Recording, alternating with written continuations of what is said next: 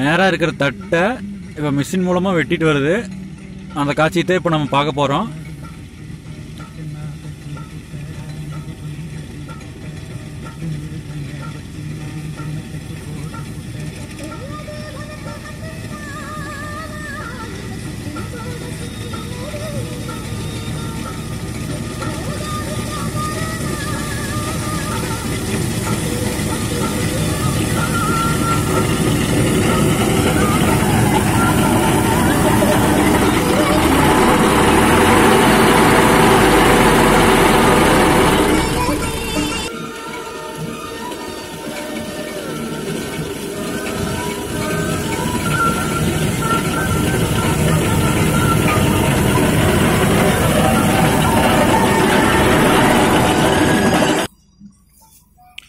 தட்டை பார்த்தீங்கன்னா எந்த மாதிரி அறுத்துருக்குதுன்னு பார்த்துக்கலாம்.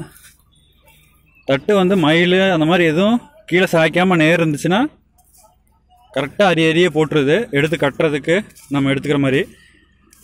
ஏதாச்சும் உள்ள மயில் குருவி இல்லைன்னா மழை பெஞ்சு கீழே விழுந்துருந்துச்சுன்னா அது வந்து கஜமுச்சுன்னா அறுத்துருது. இல்லைன்னா டயர் மேலே ஏறி சும்மா நசுக்கி விட்டுட்டு வந்துடுது அந்த கத்திக்கு தட்டுப்பட்டுச்சுன்னா அறுத்துரும். கத்தி நல்லா ஷார்ப்பாக இருக்குது நீங்கள் அந்த கத்தி சுற்றுறத அந்த வீடியோவில் பார்த்துருக்கலாம்.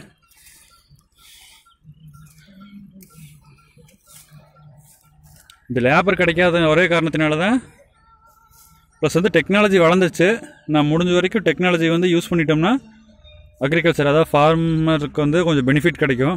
இதே லேபர்னால் ஏகப்பட்ட நாள் ஆகும் மூணு நாள் நாலு நாள் லேபர் அதிகமாக வேணும் இது சிம்பிளாக ஈஸியாக ஒரே நாளில் மணிக்கணக்கில் அதாவது ஒரு ரெண்டு மணி நேரம் மூணு மணி நேரத்தில் மொத்த காட்டையும் அறுத்துருது பரவாயில்ல.